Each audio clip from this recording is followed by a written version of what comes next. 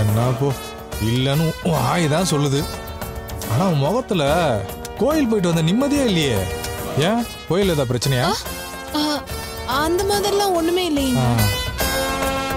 சரி நீ போ.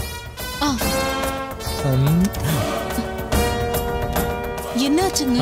லூசு லூசு. போல்ட் லூஸா இருக்கு. அதான். சரிங்க. கோமதி என்னங்க? எனக்காகன்னு போயிட்டு ஸ்பெஷலாக பூஜைலாம் பண்ணிட்டு வந்திருக்க. பிரசாத் எங்கம்மா?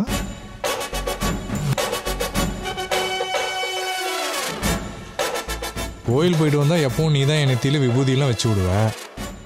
இப்போ அப்பெல்லாம் எதுவும் வைக்கலையே. அப்போ கோயிலில் ஏதாவது பெருசாக பிரச்சனை நடந்துச்சோ? ஐயோ நீங்க நினைக்கிற மாதிரிலாம் ஒன்றும் நடக்கலங்க. நான் ஆட்டோல வரும்போது பிரசாதத்தை மிஸ் பண்ணிட்டேன்.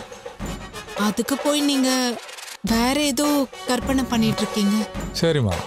ஒன்றும் பிரச்சனை இல்லைன்னா சந்தோஷம்தான். சரிங்க. நீ போய் வேலையை பாருமா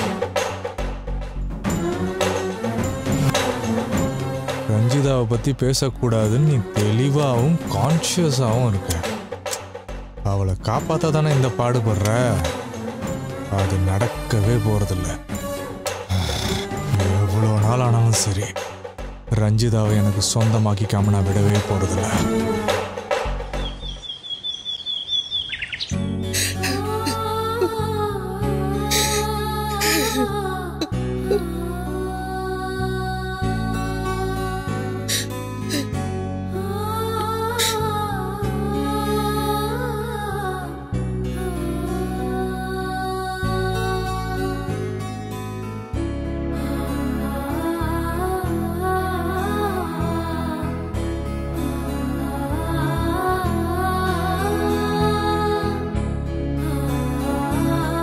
சுதா ஒரு நிமிஷம் உள்ள வாயேன்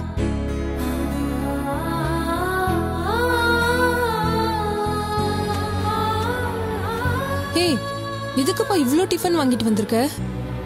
இப்போ இருக்கிற நிலைமையில யார் சாப்பிடுவாங்கன்னே தெரியல. அவங்க அப்படிதான் இருப்பாங்க சுதா. நாம தான் கம்பல் பண்ணி சாப்பிட வைக்கணும். சரி இந்தா நீ எடுத்து வை.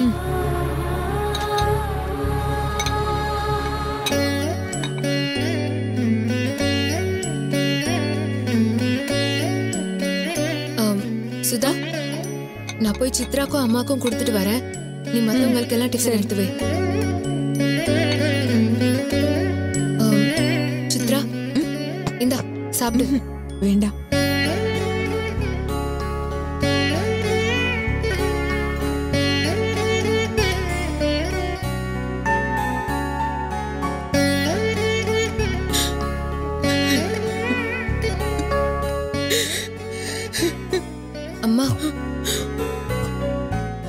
சாப்பிடுங்கம்மா. அம்மா கொஞ்சமாவது சாப்பிடுங்கம்மா. எனக்கு வேண்டாம்மா. நீங்க காலையில இருந்து சாப்பிடலம்மா. உங்க ஹெல்த் கண்டிஷனுக்கு இவ்ளோ நேரம் சாப்பிடாம இருக்க கூடாது மருந்தெல்லாம் வேற சாப்பிடணும்ல.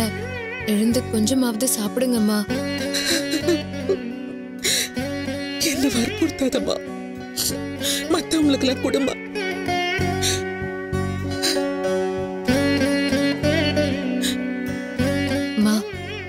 சாப்பிடாம வீட்ல வேற யாருமே சாப்பிட மாட்டாங்க.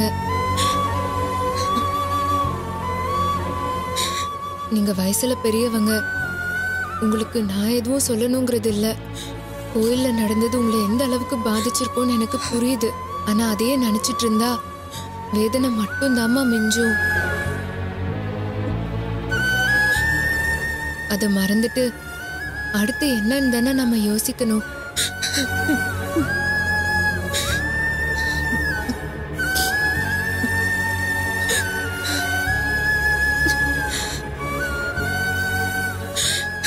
கோவில்ல பட்ட அவமானத்தை. எப்படிம்மா அவ்வளவு சீக்கிரம் என்னால மறக்க முடியும்?